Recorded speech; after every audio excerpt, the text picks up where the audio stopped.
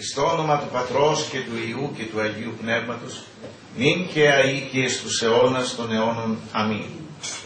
Παναγία Δέσποινα, Άγιοι Άγγελοι και Αρχάγγελοι, τίμιε πρόδρομε, Αποστόλων οι δωδεκάς, όσοι οι μάρτυρες, οι καλώς αθλήσαντες και στεφανοθέντες πρεσβεύσατε, το ελεήμονι Θεό είναι πτεσμάτων άφεσιν παράσχητες ψυχές ημών. Αμήν. Χριστός Ανέστη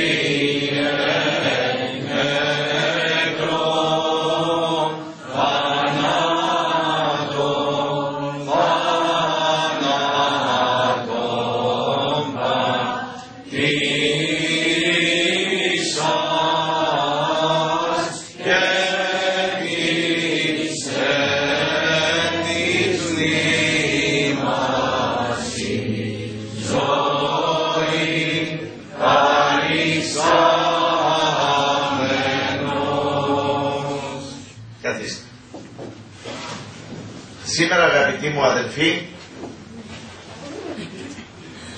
θα συζητήσουμε ένα θέμα το οποίο άπτεται προσωπικά της προσωπικότητος του καθενός μας. Το θέμα μας θα έχει τίτλο το πολυκέφαλο θηρίο του εγωισμού και η αντιμετώπιση του. Τη θυμόσαστε τη Λενέα Ήδρα; Είχε πολλά κεφάλια. Ένα κορμί με, αλλά με πολλά κεφάλια, τα οποία έπρεπε ο Ηρακλής να νικήσει. Και όταν έκοβε στο ένα κεφάλι, ξαναβγαίναν άλλα ένα πολυκέφαλο θηρίο είναι ο εγωισμός του ανθρώπου. Ο εγωισμός του καθενός μας. Η αλήθεια είναι ότι ο εγωισμός είναι ένα από τα μεγαλύτερα αμαρτήματα τα οποία έχουμε. Υπάρχουν πολλών ειδών αμαρτήματα. Και φόνοι και μοιχείες και ίσως κανείς νομίσει ότι ένας φόνος ή μια μοιχεία είναι πάρα πολύ μεγάλο αμάρτημα. Είναι μεγάλο αμάρτημα. Αλλά η πηγή του αμαρτήματος, η κεφαλή του αμαρτήματος είναι ο εγωισμός του ανθρώπου. Είναι ο εγωισμός του ανθρώπου. Θα μου πείτε στο φόνο από πίσω κρύβεται ο εγωισμός του ανθρώπου και βεβαίως κρύβεται. Διότι πώς έφτασα στο να σκοτώσω τον άνθρωπο; Πώς έφτασα. Οργίστηκα. Γιατί οργίστηκα, γιατί κάτι που θεώρησα ότι είμαι αδίκησε, αδίκησε ποιον, εμένα, εμένα αδίκησε, το εγώ μου δηλαδή. Είμαι συκοφάντησε, ποιον συκοφάντησε, εμένα, το εγώ μου. Είμαι ύβρισε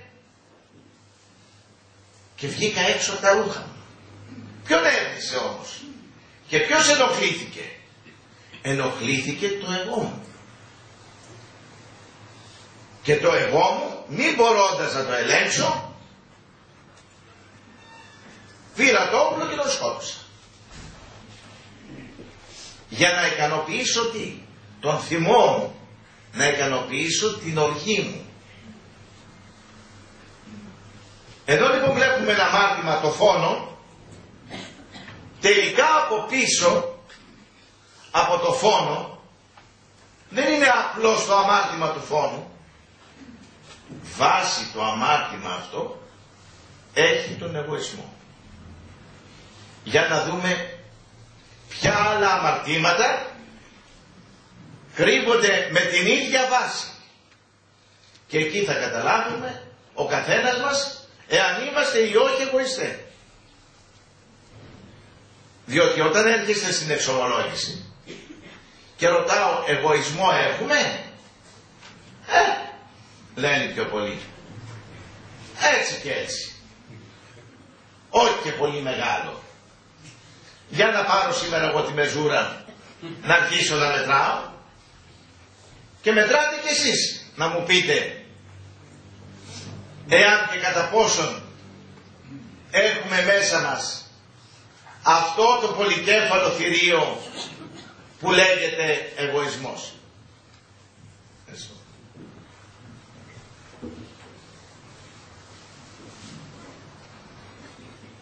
Σκεφτήκατε ποτέ αδέρφια μου γιατί εκνευρίζεστε και οργίζεστε;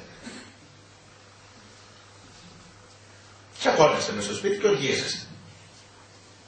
Γιατί; Τσακώθηκατε με το παιδί σας. Τον άντρα. Ή ο άντρας με τη γυναίκα. Και το εγώ μας. Γιατί δεν έγινε αυτό που είπα εγώ. Γιατί δεν έγινε έτσι όπως εγώ το έχω σκεφτεί. Ενώ μες στο μυαλό μου το είχα έτσι, δηλαδή έχω κανονίσει αύριο Σαββατοκύριακο ότι θα πάω στην αδερφή μου, ξαφνικά μου λέει το παιδί και έχω κανονίσει θα πάμε εκεί να φάμε, έχουν κανονίσει το τραπέζι, έρχεται το παιδί μου και μου λέει εγώ μου μητέρα αύριο θα πάω για μπάνιο με τους φίλους μου. Τι λες παιδάκι μου, εγώ έχω κανονίσει αύριο να είμαστε όλοι στη θεία; Και απάχτηκες. Γιατί; Γιατί αυτό που εσύ κανόνισες, μόνη σου το κανόνισες, το εγώ σου το κανόνισες, χωρίς να ρωτήσεις εάν συμφωνούν οι άλλοι, αυτό που εσύ ρύθμισες δεν σου βγαίνει. Και αφού δεν σου βγαίνει, προξενεί εκνευρισμό. Και ο εκνευρισμός φέρνει την οργή. Άρα κάθε φορά που νευριάζουμε, θα πρέπει να σκεφτόμαστε ότι νευριάζουμε διότι χτυπιέται το εγώ μας. Δεν γίνεται αυτό που θέλω εγώ ή αυτό που σκέφτηκα εγώ ή αυτό που αποφάσισα εγώ και προσπαθεί κάποιος άλλος να γίνει το δικό του. Και εκεί έρχομαι σε ρήξη και εκνευρίζομαι. Και εξαρτάται πόσος είναι ο εγωισμός, γιατί αν δεν υποχωρήσει, πέρασε από τους δύο, γίνεται μεγάλη μάχη. Και αν είναι ζευγάρι, μία, δύο, τρεις, τέσσερις, ψυχραίνονται μετά οι άνθρωποι. Μετά αρχίζουν και ψυχραίνονται οι άνθρωποι. Και σου λέει πήρα λάθος άνθρωπο και δεν βλέπεις τι μου λέει συνέχεια και θέλει να κάνει όλο το δικό του και δεν μπορεί να γίνει αυτό που θέλω εγώ. Όλο το δικό μου είναι λάθος, ό,τι πω εγώ είναι λάθος, ό,τι κάνω εγώ είναι λάθος. Γιατί, γιατί πληγώνεται το εγώ μου. Εκεί δολοφονείται το εγώ μου. Μα ο χριστιανός δεν πρέπει να δολοφονεί το εγώ του. Μπορεί ο χριστιανός να έχει εγώ; Μπορεί ο χριστιανός να έχει εγώ; Τι πρέπει να έχει ο χριστιανός; Το εμείς. Όχι το εγώ. Το εμείς έχει ο χριστιανός. Στο σπίτι δεν είμαι εγώ. Είμαστε εμείς. Και γι' αυτό πρέπει να το ρυθμίζουμε τα πράγματα μέσα στο σπίτι ομαδικά. Πρέπει να συμφωνήσουμε τουλάχιστον η πλειοψηφία. Τουλάχιστον η πλειοψηφία. Άρα η οργή τι κρύβει. Υποκρύπτει η οργή τα νεύρα, το ότι δεν έγινε το δικό μου θέλω, δεν έγινε η δική μου άποψη, δεν πέρασε η γραμμή μου Δεν πέρασε αυτό που είχα ρυθμίσει και είχα κανονίσει και μου τα αναστάτωσα, μου τα έφεραν όλα να κάτω. Καλά τα είχα ρυθμίσει. Καλά τα είχα κανονίσει. Από πίσω λοιπόν κρύβεται ένα μεγάλο εγώ. Το οποίο εκδηλώθηκε τελικά με οργή. Εκδηλώθηκε με οργή, με νεύρα. Άρα κάθε φορά που νευριάζετε, σκεφτείτε γιατί τώρα νευριάζω. Γιατί ο άλλος μου λέει κάτι αντίθετο από αυτό που εγώ έχω στο μυαλό μου. Άρα πρέπει να βγάλω το εγώ μου. Δεν πρέπει να με ενοχλεί η άποψη και να με συνεχίσει η άποψη του άλλου. Γιατί τι λέει ο Χριστός. Τι λένε οι Άγιοι; Πώς πρέπει να είναι ο χριστιανός; Σαν το χώμα. Πείτε στο χώμα λέει ό,τι θέλει. Σας το έχω ξαναπεί. Γη και εις γη να απελεύσει. Χώμα είσαι και στο χώμα θα πας. Χώμα είσαι και στο χώμα θα πας. Αν είμαστε χώμα. Το χώμα αντιδρά. Πείτε ό,τι θέλετε στο πάτωμα. Όσες απόψεις πείτε του θέλετε. Θα αντιδράσει το χώμα. Θα εκνευριστεί το χώμα. Θα οργιστεί το χώμα. Άλλο τόσο πρέπει να οργιστείς και εσύ και εγώ που είμαστε χώμα. Σε αυτά που μας λένε και τα οποία έρχονται σε αντίθεση με αυτά που εμείς έχουμε κανονίσει. Άρα ένα κεφάλι που βάσει έχει τον εγωισμό είναι η οργή. Άρα πολλοί έρχονται και λένε στα μαρτήματά τους, λέει πάτε ξέρεις οργίζομαι. Και εγώ απαντάω ναι, γιατί είσαι εγωιστής. Μου λέει γιατί είμαι εγωιστής; Γιατί ο ορισμός σου σε κάνει και οργίζεσαι. Άλλο κεφάλι. Παρακαλώ τα κινητά να μπουν στα αθόρυβα. Όσοι έχετε κινητό βάλτε το στο αθόρυβο. Ή κλείστε τα. Η κατάκριση. Πάτερ λέει πέφτω συχνά στην κατάκριση. Κατακρίνω. Η κατάκριση έχει καμία σχέση πάλι με τον εγωισμό. Και βέβαια έχει. Η κρίση, η κατάκριση. Άμα εγώ κρίνω τον νεαρό που είναι μπροστά μου ή την κυρία που είναι από πίσω, τον κύριο που είναι παραπίσω και του κάνω κριτική,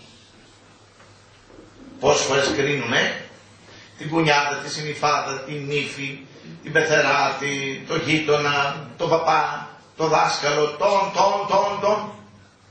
Απέναντι της Τον πρόεδρο του χωριού, τον δήμαρχο, τον α, τον β, τους πολιτικούς. Κρίση και κατάκτηση που πέφτει. Κρίση και κατάκτηση. Η κρίση έχει σχέση με τον εγωισμό. Και βέβαια έχει με τον εγωισμό. Και βέβαια έχει. Γιατί εγώ που κρίνω, τι θεωρώ μέσα μου και κρίνω; Ότι εγώ είμαι καλύτερος. Και αν ήμουν στη θέση του, δεν θα το έκανα, θα το έκανα καλύτερα. Άρα το κίνητρό μου που ξεκινάει μέσα μου είναι πάλι το εγώ που δουλεύει. Ότι αν ήμουν εγώ εκεί, σε καμία περίπτωση δεν θα χειριζόμουν το ζήτημα αυτό κατά αυτόν τον τρόπο. Άρα λοιπόν η κρίση μου έχει να κάνει με τον εγωισμό μου. Θεωρώ, το υποσυνείδητό μου μέσα μου λέει εσύ είσαι καλύτερος και θα το έλυνε στο πρόβλημα καλύτερα. Ενώ τώρα βλέπεις αυτός είναι βλάκας και δεν μπορεί να το δει τι κάνει. Δεν ενεργεί σωστά. Ενεργεί λάθος. Και έτσι αρχίζω την κρίση. Και έτσι αρχίζω την κρίση. Αλλά κάθε φορά που κρίνω θα πρέπει να σκέφτομαι ότι εγώ είμαι καλύτερος από τον απέναντί μου. Θεωρώ τον εαυτό μου καλύτερο. Εάν το θεωρώ καλύτερο, τότε πάλι δεν είμαι σωστός χριστιανός. Γιατί ο Απόστολος Παύλος τι είπε; Πώς πρέπει να αισθανόμαστε; Οι τελευταίοι, οι χειρότεροι πάντων. Όταν λέω ότι είμαι ο χειρότερος, άρα οι άλλοι είναι καλύτεροι από μένα. Καλύτερη στη γνώμη, καλύτερη στην άποψη, καλύτερα στα πάντα. Άρα τον εγώ κάνω το ξερόλα, ότι εγώ ξέρω, εγώ μπορώ να σας πω, εγώ έχω αυτή την άποψη, άρα εγώ είμαι καλύτερος. Εξού και η άποψή μου θα είναι καλύτερη. Εξού και κρίνω την άλλη την άποψη. Δεν το είπε καλά, έπρεπε να το πει έτσι. Ή έπρεπε να το κάνει έτσι. Δείτε ότι πίσω και από την κατάκριση και την κρίση, το δεύτερο κεφάλι του εγωισμού κρύβεται, η βάση του είναι πάλι ο εγωισμός.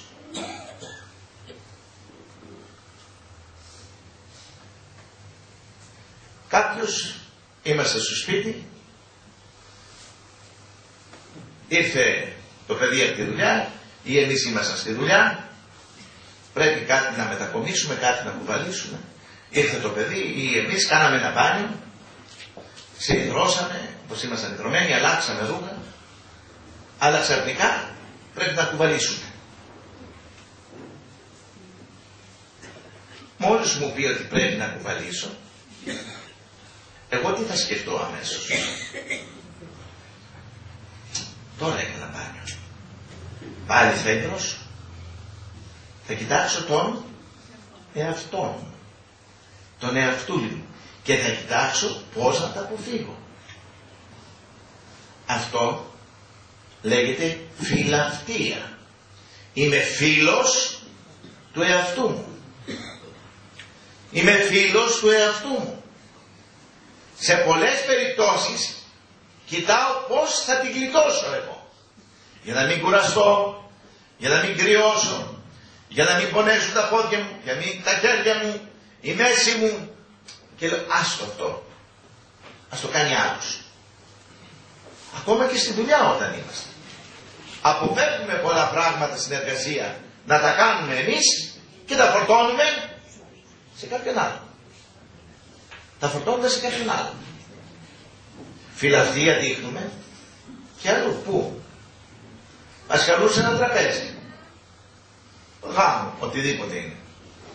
Μόλις πούνε σηκωθείτε, ευτυχώς τώρα από ό,τι πρόσεξα, έχει αλλάξει το σύστημα.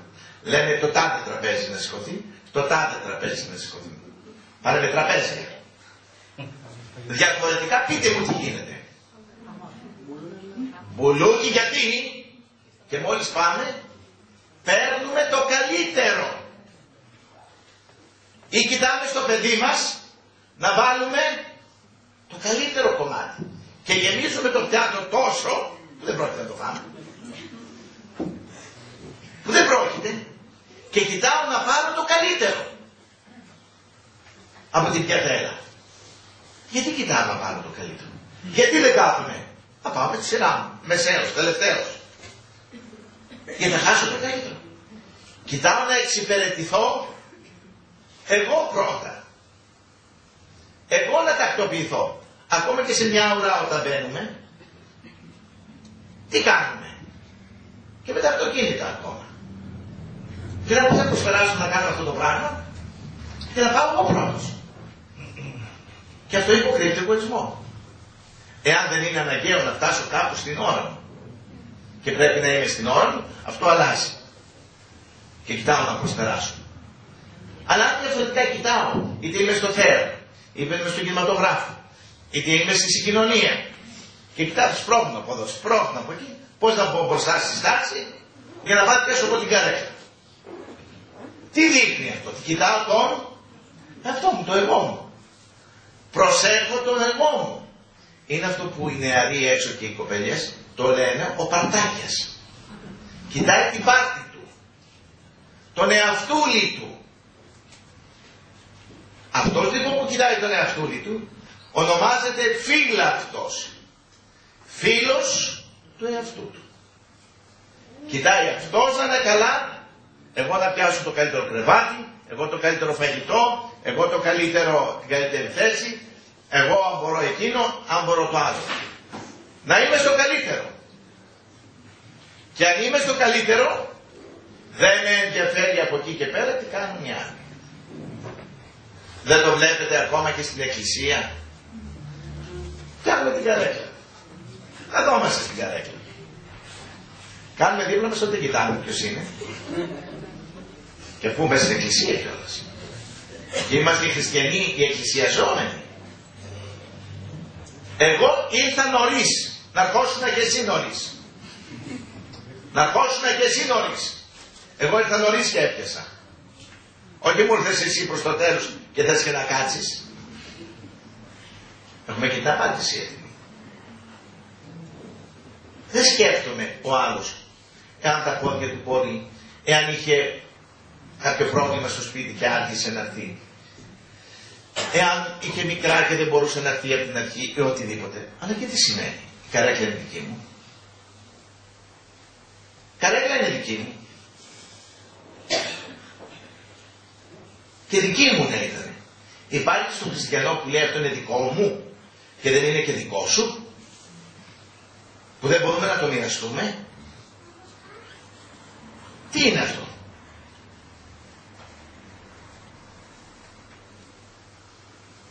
Τι είναι αυτό; Βλέπετε λοιπόν η φιλαυτία κρύβει το κεφάλι της φιλαυτίας, κρύβει ένα τεράστιο κοσμό που ο άνθρωπος κοιτάει τα του εαυτού του.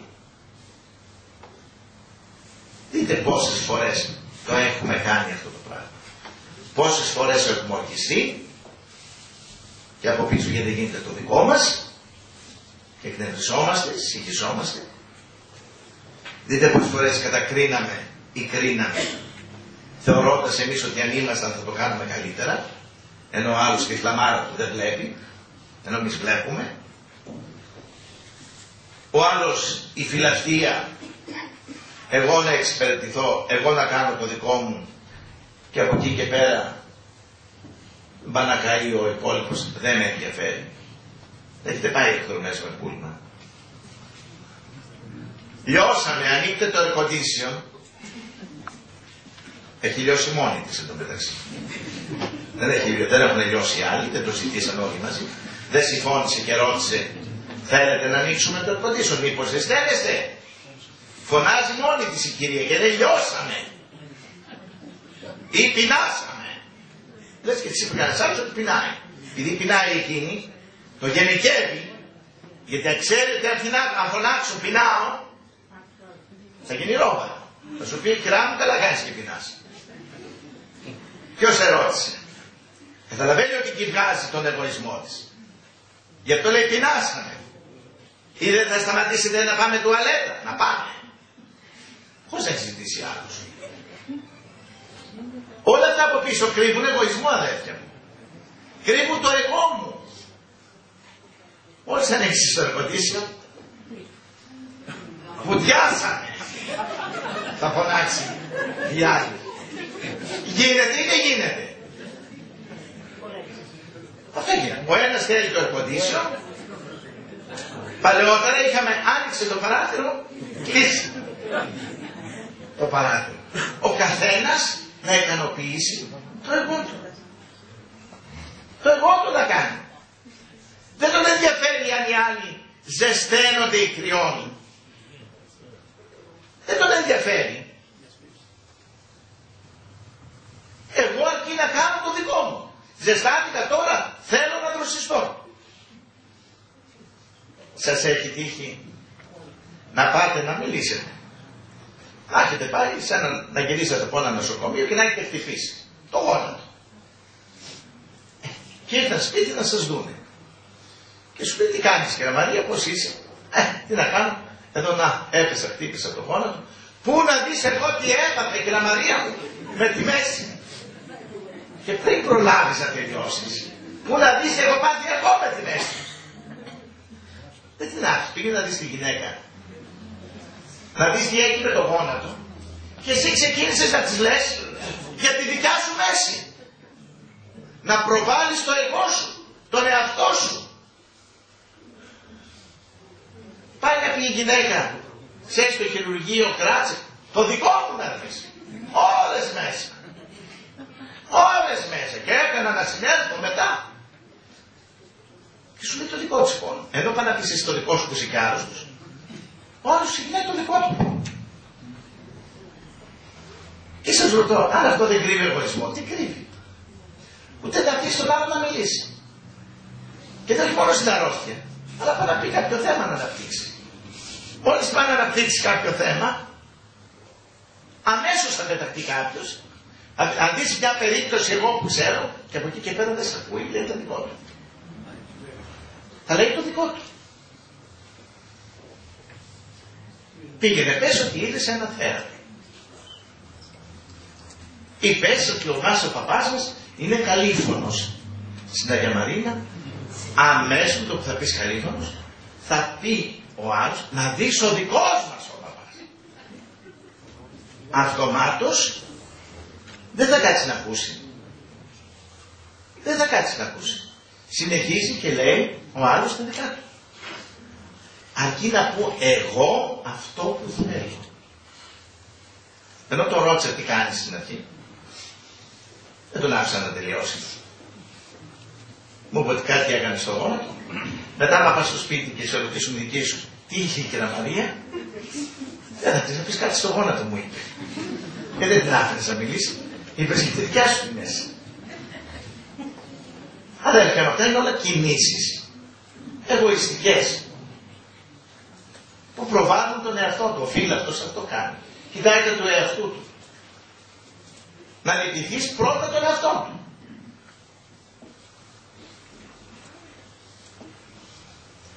Λένε, στην εξομολόγηση, λέω ψέματα παππούλη.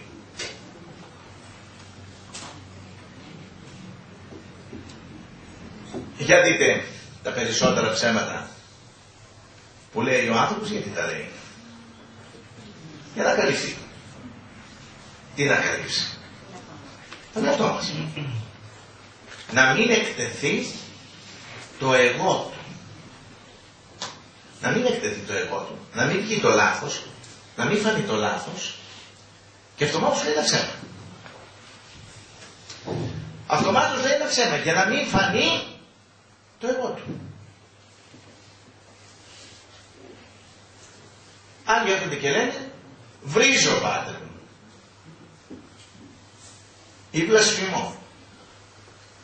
Βρίζω τα θεία, αυτό σημαίνει βλασφημώ. Ή βρίζω. Και σου λέει βρίζω μόνο με νευριάσου. Εγώ όταν μου λένε έτσι ότι βρίζω μόνο με νευριάσου, λέω αν έβριζες στα καλά καθόλου θα σου κεφαλάγος. Φυσικό είναι ότι όταν ευριάσεις θα βρίσεις. Μπορεί να βρεις τα καλά καθούμενα και τότε είσαι και το δαφνί.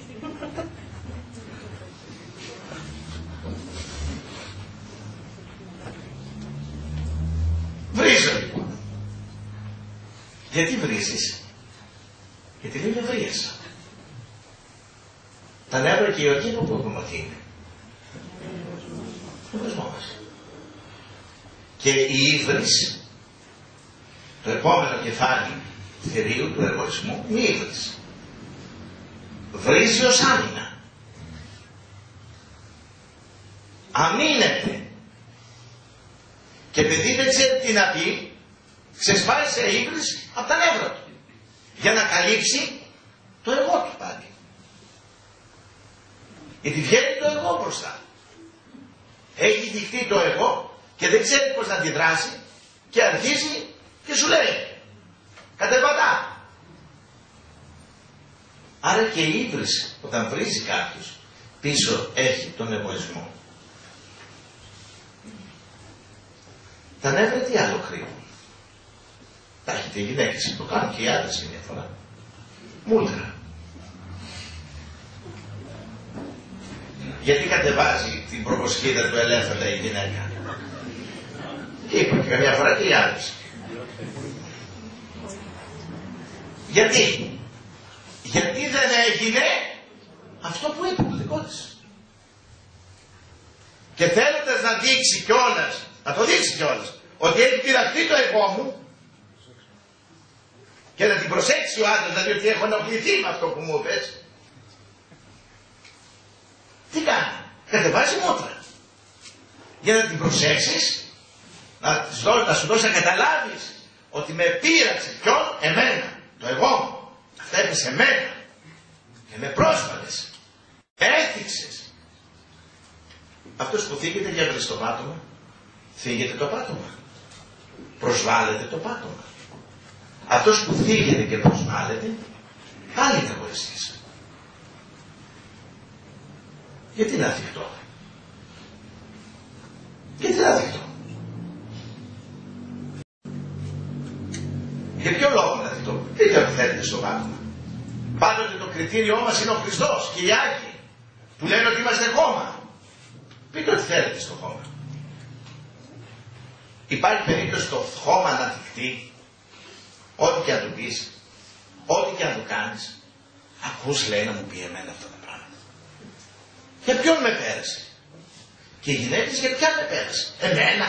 Εμένα να μου μιλήσει έτσι. Εγώ που έχω κάνει για αυτόν τόσα, τόσα, τόσα. Σε μένα να μου πει τέτοια κουβέντα. Αδιανόητο. Και γιατί σε Τούρκους. Γιατί. Γιατί κρύβεται πάλι ο Χριστός. Έχει πειραχτεί το θηρίο μέσα που λέγεται εγώ. Τι λέτε. Είμαστε εγωιστές ή όχι; Και πού είστε ακόμα; Ακόμα είμαι στα τέσσερα πρώτα. Ε, είναι πολυκέφαλο το θηρίο. Το θηρίο είναι πολυκέφαλο. Να δούμε Πόσο εγωισμό έχουμε, έχω πάρει τη μεζούρα και μετράω.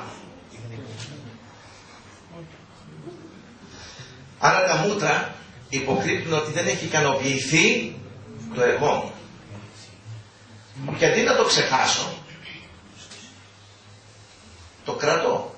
Άρα βγαίνει ένα άλλο θηρίο από μέσα. Η μνησικακία.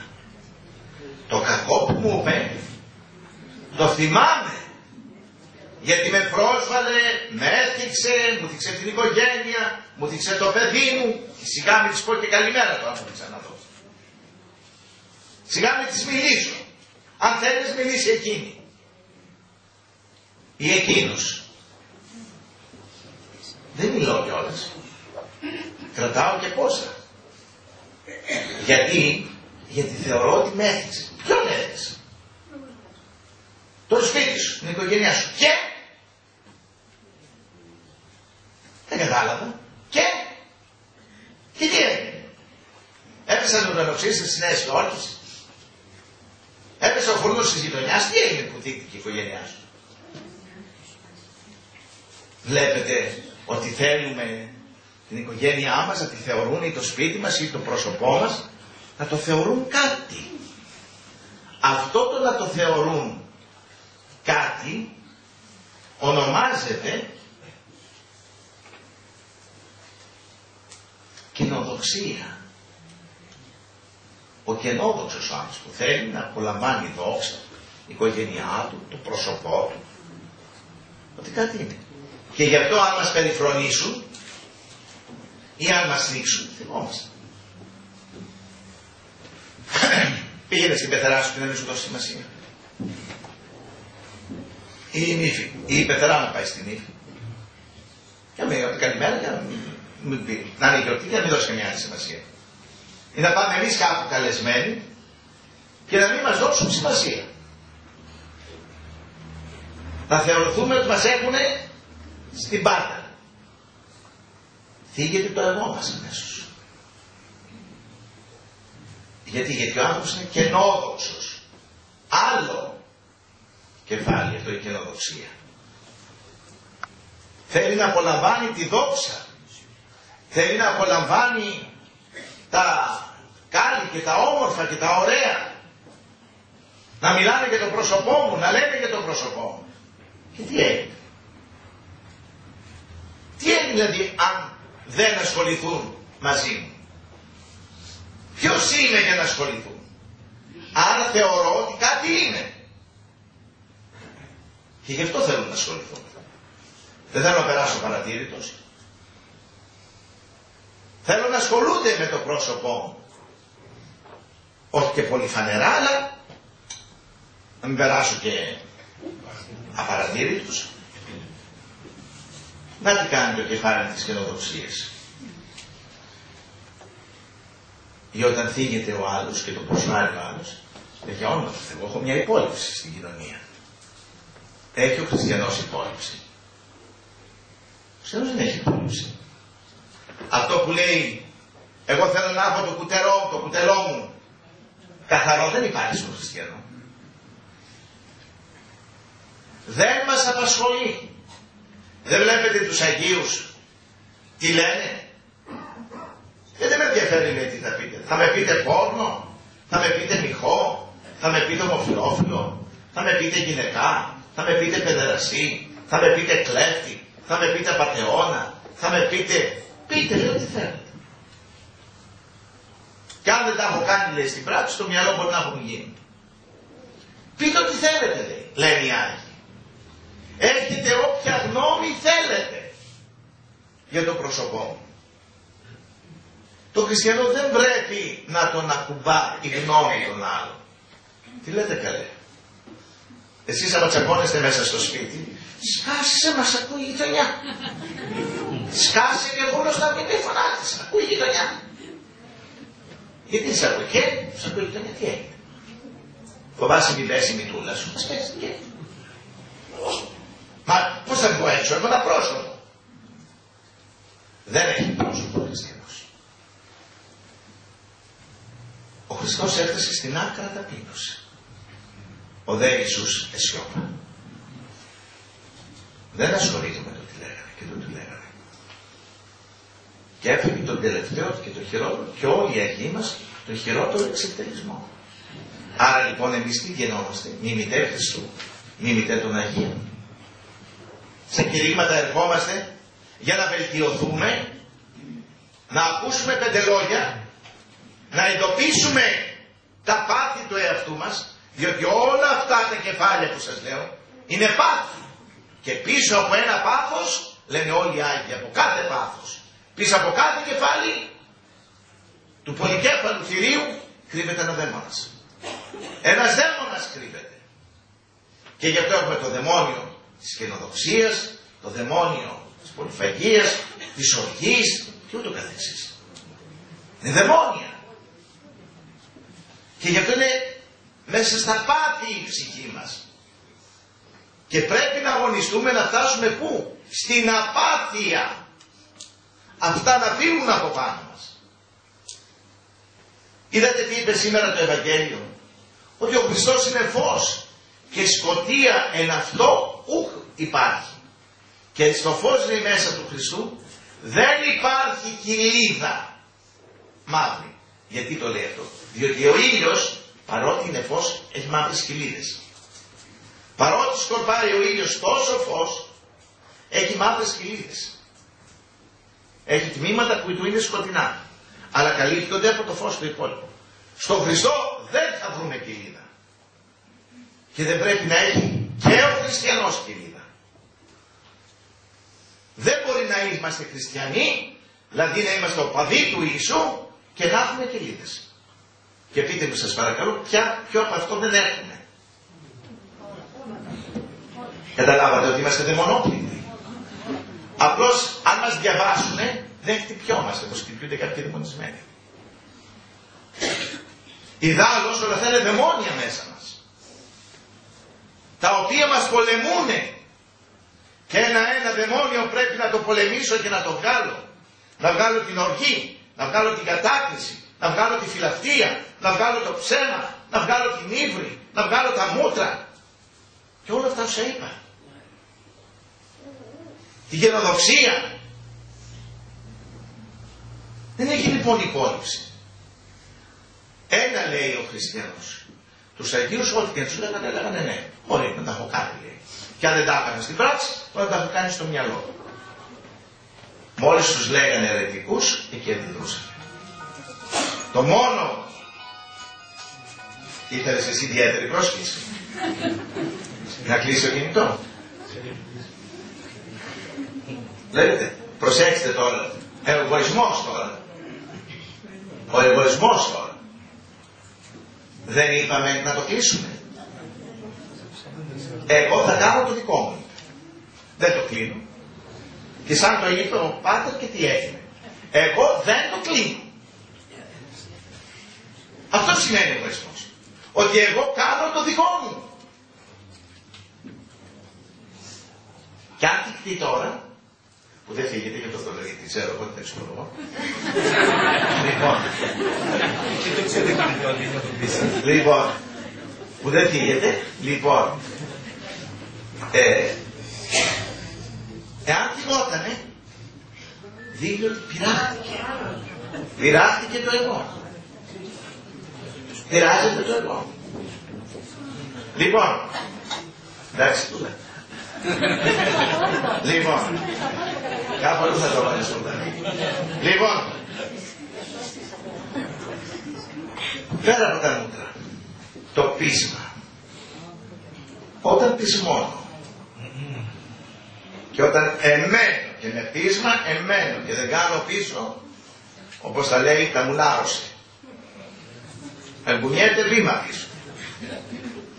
Και έστω και αν το δει ότι είναι λάθος, πάλι δεν κάνει πίσω. Θα μου πείτε, όταν έχω το σωστό και λέω την αλήθεια πρέπει να κάνω πίσω, ναι αδέρφια μου. Και όταν λέω την αλήθεια, αφού την είπα μία, δύο αρετού λέει ο Απόστολος. Δεν σε καταλαβαίνει ο άλλος. Και το μόνο που θα προκαλέσεις είναι φασαρία από εκεί και πέρα. Επομένως σταμάτα το. Υποχώρησε. Είπε την αλήθεια. Ακούστηκε. Μην εμένεις. Μόνο στο θέμα της πίστεως. Εμένεις. Αλλά και πάλι στα θέματα της πίστεως, εάν δεν θέλει να το καταλάβει, και εκεί πάρε το. Δεν θα τσακωθώ. Δεν θα πείσω να χαλάσω τη γαλήνη της ψυχής μου. Με τίποτα. Γιατί μπροστά στην ειρήνη της ψυχής, η ειρήνη της ψυχής κατεβάζει το Άγιο Πνεύμα μέσα μας. Σε ψυχή ταραγμένη δεν κατεβαίνει το Άγιο Πνεύμα. Άρα με τίποτα δεν αφήνω τον άλλο να με συγχύσει. Και προσέξτε, όχι να λέω μίλαση και εγώ σε γράφω. Δεν σε υπολογίζω. Γιατί αυτό είναι άλλο είδους εγωισμός. Είναι η σιωπή πολλές φορές. Κρατούν πολύ σιωπή, εγωιστική σιωπή. Ενώ λέει ο άλλος, μα είναι αυτό, αυτό και τα λοιπά. Εσύ πετάς και λες κάτι, απαντάς. Μετά λες δεν θες να ακούσεις, ποτέ και ακούσεις. Δεν σου απαντάω. Και δεν μιλάει, δεν λέει κάτι. Δεν λέει κάτι. Αυτή η σιωπή είναι εγωιστική πάλι. Όχι, εσύ πρέπει να σιωπήσεις για να διατηρήσεις την ειρήνη της ψυχής σου. Είπε την αλήθεια, ακούστηκε, τελείωσε. Την κατάλαβε, την κατάλαβε. Τέλος. Η ζήλια. Και αυτό έχει βάση τον εγωισμό. Γιατί δεν το έχω εγώ. Ζηλεύω κάτι το οποίο εγώ δεν το έχω και το έχει κάποιος άλλος. Και εδώ υποκρύπτεται κάτω από αυτό το κεφάλι της ζήλιας ο εγωισμός. Ομοίως η έρηδα. Η έρηδα είναι από τη φιλονικία. Η φιλονικία έχει να κάνει με τα αρχικά που είπα. Με το που δεν γίνεται, γιατί φιλονικούμε. Έρηδα σημαίνει φιλονικία. Γιατί δεν γίνεται πάλι το δικό μου. Η ηρωνία. Όταν ηρωνεύομαι τον άλλο. Αφού δεν μπορώ να ανταπεξέλθω, πηγαίνω στο δεύτερο μέρος που είναι η ηρωνία. Και τον ηρωνεύομαι. Τον δουλεύω. Καλά του εσύ τώρα, γιατί και να μιλήσεις. Αυτή μόνο η έκφραση, ή και χωρίς να μιλήσεις πολλές φορές, κάνεις μια χειρονομία, την οποία θα σας την κάνω. Ενώ σου μιλάει ο άλλος, του κάνεις τίποτα. Δεν είπες τίποτα. Με την κίνηση αυτή όμως, δείχνεις ότι εσύ είσαι ανώτερος, ενώ αυτός είναι κατώτος και γι' αυτό είσαι μπας κλάς, στην άκρηση.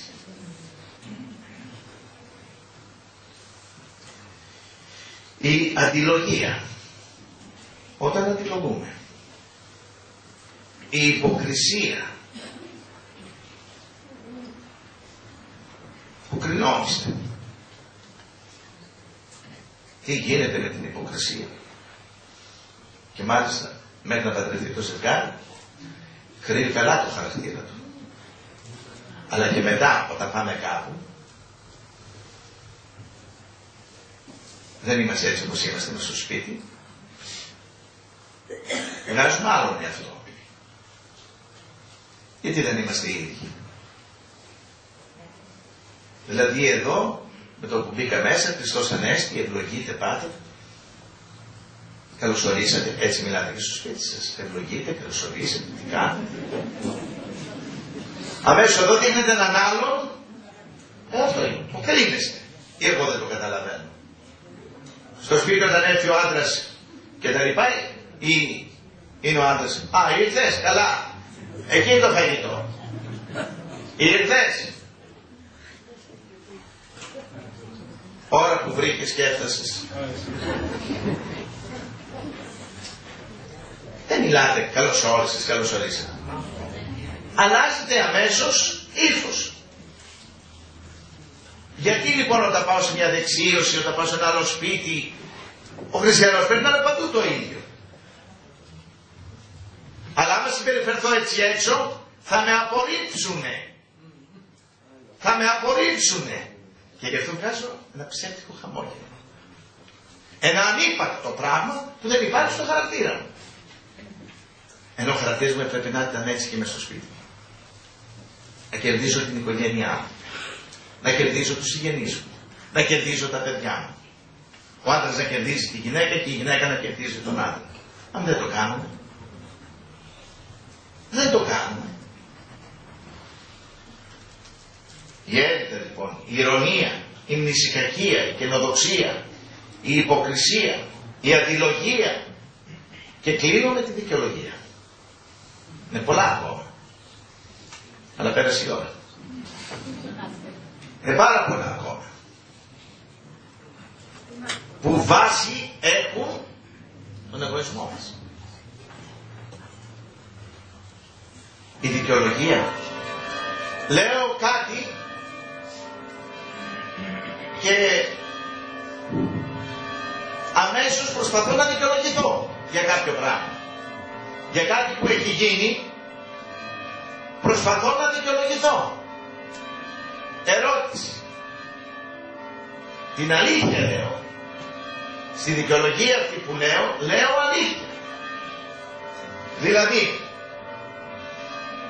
έπρεπε να είναι κάπου στις 7. Να τώρα στις 7 επάνω θα κάνουμε χαιρετισμούς, είναι 7 η ώρα. Χαιρετισμούς στον Πανάγιο Τάφο, Παναγίου Τάφο. Να ανεβείτε κι εσείς μετά επάνω. Θα πάω να κάνω, θα τους κάνω κι εγώ. Θα κάνουμε τους χαιρετισμούς στον Πανα... Πανάγιο και Ζωδόφο Τάφο, δηλαδή στον τάφο που θαύτηκε ο Χριστός. Τώρα που θα πάω, θα πω μια δικαιολογία. Τι δικαιολογία θα πω; Ότι δεν είχατε μειώσει το κήρυμα. Αλήθεια θα πω. Αλλά δεν είναι στην ώρα μου. Τότε γιατί δικαιολογούμε; Αφού φταίω. Αφού φταίω γιατί δεν είμαι στην ώρα μου.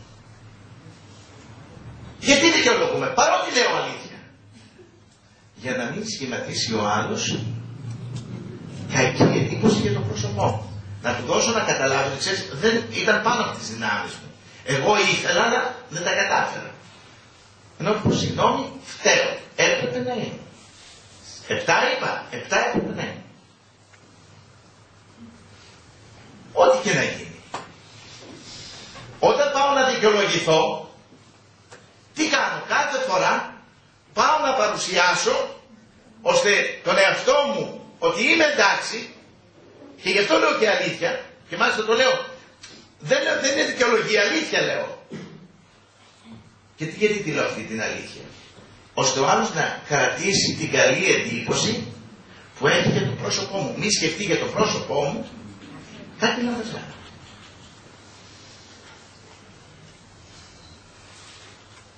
Είπα να κλείσουμε αυτό, αλλά θα συνεχίσω. ναι, για όλα είναι 7, το είδα. Λοιπόν, και πέντε. Βλέπω εδώ βαμμένα μαλλιά. Βαμμένα μαλλιά. Γιατί δεν μάθουν οι γυναίκες; Γιατί θέλουν να δείχνουν ωραίες. Θέλουν να δείξουν χαλιέραστες. Θέλουν να δείξουν κάτι. Δεν θέλει ο άλλος να έχει κακή εικόνα του προσώπου τους. Αυτό το πράγμα. Γι' αυτό δίνονται και ωραία. Είτε ο άντρας, είτε η γυναίκα όταν είναι. Θέλει να δείχνει να κερδίσει τον άλλον. Γιατί; Δείχνει ότι το εγώ μου ικανοποιώ πάλι. Θέλω να αρέσω. Θέλω να με αγαπάνε. Μα γιατί; Γιατί ικανοποιώ το εγώ μου στην ουσία. Βλέπετε ότι από πολλές κινήσεις καλύπτω το εγώ μου ή βγαίνει μπροστά το εγώ μου. Γι' αυτό αδέρφια μου, το θηρίο αυτό του εγωισμού, όπως είπαμε ο τίτλος της ομιλίας, είναι το πολυκέφαλο θηρίο του εγωισμού. Η αντιμετώπιση του. Πώς θα το σκοτώσω; Ξέρετε τι έκανε ο Ηρακλής; Με το σπαθί του μόλις έκοβε το ένα κεφάλι για να μην πεταχτεί άλλο το καυτηρίασε. Άρα πρέπει να καυτηριάσω τα πάθη μου. Όλα αυτά. Ένα-ένα να τον ζεματίσω το δαίμονα. Και πώς ζεματιάει το δαίμονας. Με το να κάνω το αντίθετο από αυτό που θέλει εκείνος. Τι θέλει εκείνος. Θέλει να οργιστώ; Όχι. Με βρίζει ο άλλος, δεν μιλάω. Υπομένω. Δέχομαι. Έστω και αν μέσα μου, στην αρχή θα βράσω. Μέσα μου εδώ πέρα στο στομάχι, θα με σφίγγει στην αρχή. Και μάλιστα θα ανεβαίνει ένα μου γκριτό από μέσα μου. Θα θέλει να βγει πες του. Κρατήστε το. Μην το αφήσετε να βγει. Μην μιλάτε και μην κάνετε και καμία γκριμάτσα. Θα δείτε θα πνιγεί το δαιμόνιο μόνο του μέσα. Μία, δύο, τρεις. Θα ακούσετε και ο άλλος θα μείνει. Θέλει καλά τόσα του είπα. Και μετά ο άλλος θα έχει τύψη συνειδήσεως. Για όλα αυτά που είπε. Θα μου πείτε μπορεί να πει τότε ήταν γένοχος και γι' αυτό δεν μίλησε. Ας πει ότι είσαι ένοχος. Τι φοβάσαι να σου καλάσει την προσωπικότητα. Ας πει. Εσύ κέρδισες αυτό που είπε ο Χριστός. Το καυτηρίασες το πρώτο. Το ίδιο στην κατάκριση, στη φυλακτία, στο ψέμα. Ένα-ένα. Αυτά όλα πολεμιούνται με μια λέξη. Ταπείνωση. Το αντίδοτο είναι ταπείνωση. Ταπείνωση τι σημαίνει. Βάζω το κεφάλι κάτω και δεν μιλάω. Και αφήνω ο άλλος να λέει ό,τι θέλει. Δεν μιλάω. Πώς δεν μιλάει, γι' αυτό ξεκίνησα με το χώμα. Πώς δεν μιλάει το χώμα; Με τίποτα το χώμα. Συνειδητοποιώ ότι είναι το χώμα. Το πιστεύετε ότι είστε χώμα. Αν δεν το πιστεύουμε, εδώ είναι το πρόβλημά μας. Ο άσωτος ξέρετε γιατί σώθηκε. Γιατί στο τέλος είπε, αφού έφτασε εκεί που έφτασε, από πρίγκιπας, έφτασε να τρώει από τα γουρούνια έφτασε να μην έχει να φάει, έφτασε να δώσει την κουρούνια και να μένει στο στάβλο. Δεν του άρεσε το σπίτι του πατέρα του. Λέει μέσα η γραφή, ελθόν εις αυτόν είπε. Ήρθες στον εαυτό του, μίλησε με τον εαυτό του. Σου λέει τι κάνω. Και εκεί αποφάσισε, άλλαξε. Άρα το πρώτο πράγμα που πρέπει για να πολεμήσω είναι να γνωρίσω τα πάθη μου, να αντιληφθώ ότι είμαι άρρωστος, να αντιληφθώ ότι έχω αυτά τα πάθη, να το παραδεχτώ. Αν δεν παραδεχτώ ότι είμαι άρρωστος, δεν μπορεί ο γιατρός όσα καπάκια και να μου δίνει, δεν θα τα δέχομαι. Θα λέω, είναι μια χαρά. Πρέπει να παραδεχτώ ότι είμαι άρρωστος ψυχικά και να δεχτώ το φάρμακο που μου δίνει ο Χριστός, ο γιατρός των ψυχών και των σωμάτων. Γιατί αν πω εγώ έχω δίκιο, ποτέ δεν έχω δίκιο. Εγώ δεν έχω. Πρέπει να το λέω. Και δικαιολογημένα μου τα λέει. Ο άλλος. Και να μην μιλάω. Η σιωπή είναι είδος ταπείνωσης. Δεν αμήνομαι. Δεν υπερασπίζομαι τον εαυτό μου. Αφήνω τον άλλον και λέει. Μπορεί να με πει, μα είσαι αναισθητός. Και εγώ από μέσα μου θα λέω την ευχή. Κύριε σου Χριστέ, Τι κάνανε οι Άγιοι; Δεν τους βρίζαν, δεν τους συκοφαντούσαν. Ο ίδιος ο Χριστός. Δεν τους κάνανε μαρτύρια. Δεν πονάγανε. Ούτε εκεί δεν κάνανε. Το μόνο που κάνανε από μέσα τους δοξάζαν τον Χριστό. Διότι εκείνη την ώρα εσκούντος το μαρτύριο, γιατί μαρτύριο είναι το να κάψεις ένα-ένα από αυτά τα κεφάλια. Είναι μαρτύριο. Για κάτι το βάλτε το πρόγραμμα στη ζωή σας. Βάλτε το πρόγραμμα στη ζωή σας. Βάλτε το καθημερινό πρόγραμμα και θα δείτε ότι είναι μαρτύριο. Πραγματικά μαρτύριο για να νικήσεις. Αλλά όταν καθαριστείς από αυτά τα πάθη, τότε έχεις μπει στο στάδιο της καθάρσεως. Και όταν έχεις μπει στο στάδιο της καθάρσεως, όταν καθαριστείς, ό,τι καθαρίζεις λάμπει. Είναι στο στάδιο που περνάει το δεύτερο στάδιο, που είναι το στάδιο του φωτισμού. Λάμπησαν το φως, όπως είναι ο Χριστός μας. Και όταν γίνησαν τον Χριστό μας, περνάς στο τρίτο στάδιο, που είναι το στάδιο της θεώσιμος. Τότε με το Θεό ενώνεσαι. Γιατί φως ο Θεός, φως και εσύ και μπορείς να ενωθείς. Τα δύο φώτα να ενωθούν. Ενώ το σκοτάδι με το φως δεν ενώνεται. Μόλις ήρθε το φως, μόλις πάει το σκοτάδι θα φύγει. Δεν αντέχει το σκοτάδι το φως. Και γι' αυτό η ψυχή μας, αν δεν έχει καθαριστεί, αν δεν έχουν φύγει αυτά τα πάθη, αν δεν έχουμε πολεμήσει τον εγωισμό με όλα τα κεφάλια του που βγάζει, τότε αδέρφια μου, όταν πεθάνει η ψυχή μας, θα είναι μαύρη. Δεν θα είναι στο φως. Δεν θα είναι στο φως αν όλα αυτά τα οποία σας ανέφερα στο χαρτάκι που είχα γράψει δεν τα έχουμε, δεν έχουμε καθαριστεί. Οπότε μόλις πεθάνω, αφού δεν θα είναι φως, το φως θα με αποβάλει, θα με διώξει. Και θα με, σαν σκοτάδι που είμαι, που θα με στέλνει. Θα με αποθεί προς το σκότος. Και εκεί θα συναντήσω τους αγγέλους, τους σκότους, τους δέμες. Άρα έχω βρεθεί στην κόλαση. Αν θέλω λοιπόν να ζήσω με τον Θεό, πρέπει να καθαριστώ. Πρέπει να καθαρίσω την ψυχή μου για να γίνει φως. Και πρέπει να πολεμήσω με όλα αυτά τα πάθη. Και πρέπει να πολεμήσω. Και δεν ξέρω κατά πόσο τα πολεμάμε ή τα καλλιεργούμε. Δεν ξέρω κατά πόσο τα πολεμάμε ή τα καλλιεργούμε τα πάθη μας. Γιατί σήμερα μάλλον τα καλλιεργούμε. Μάλλον τα καλλιεργούμε. Έτσι λοιπόν αδέρφια μου, το πολυκέφαλο θηρίο που λέγεται εγωισμός έχει ένα γενναίο φάρμακο που απέναντι λέγεται ταπείνωση. Και πρέπει πάση θυσία να χρησιμοποιήσουμε σε κάθε περίπτωση αυτό το φάρμακο. Το φάρμακο της ταπεινώσεως. Να καυτηριάσουμε τα κεφάλια του πολυκέφαλου θηρίου του εγωισμού και να αρχίσουμε να καθαρίζουμε τον εαυτό μας. Ένα-ένα κεφάλι να το τελειώνουμε.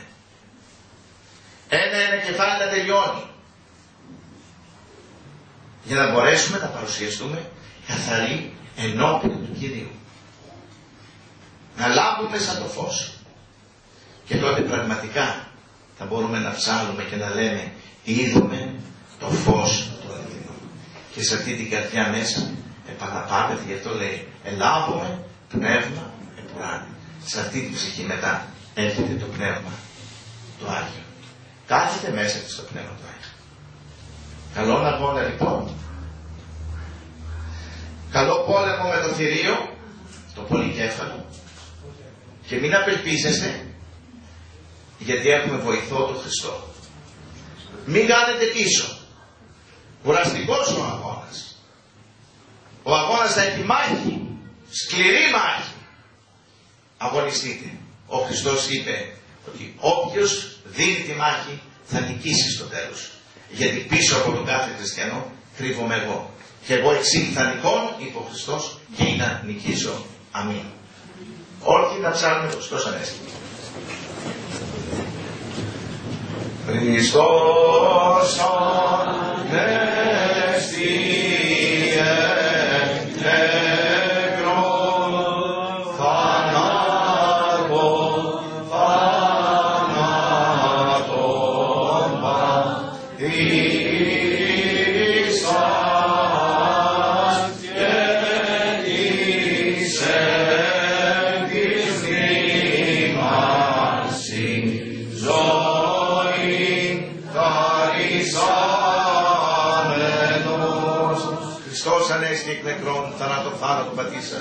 Και έτσι μνήμας η ζωή χαρεσάμους.